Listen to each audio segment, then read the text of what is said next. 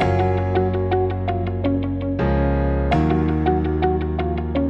La Universidad Gerardo Barrios tiene el agrado de eh, firmar un convenio de cooperación interinstitucional con Unitex, eh, una empresa costarricense radicada en El Salvador que entre otras funciones se dedica a recertificar a los empleados que trabajan para empresas como Aeroman y, y otras. Entonces para la universidad es un privilegio poder contar con un aliado de esa naturaleza porque nos permitirá ampliar la oferta formativa a través de cursos de educación continua en modalidad presencial presencial y no presencial. Eh, somos una empresa de inversión extranjera que ha llegado aquí a El Salvador desde hace año y medio, básicamente para eh, trasladar competencias en el área de capacitación, en el área de mantenimiento y reparación de aviones tipo o de turbina.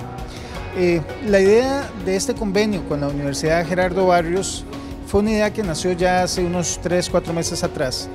Eh, consiste básicamente en generar a corto plazo eh, un técnico en mantenimiento aeronáutico acá en la universidad para que los estudiantes de Oriente tengan la posibilidad de incorporarse no solo a las empresas que dan mantenimiento de este tipo de aviones aquí en El Salvador, sino también en cualquier parte del mundo. Dentro de la estructura de este técnico que se va a crear, eh, se establece básicamente competencias en el área de eh, mantenimiento en el área de estructuras, en el área de motores, en el área de electrónica de estos aviones.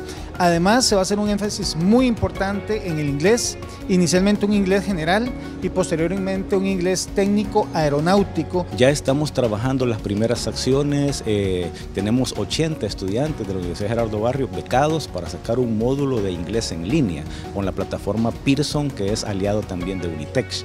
Eh, también estamos ofreciendo ya ese mismo curso en línea para eh, talento humano de la UGB y también para cualquier persona que quiera llevarlo como un primer paso. Recién, ¿verdad? Recién firmado el convenio, iniciamos con esa acción.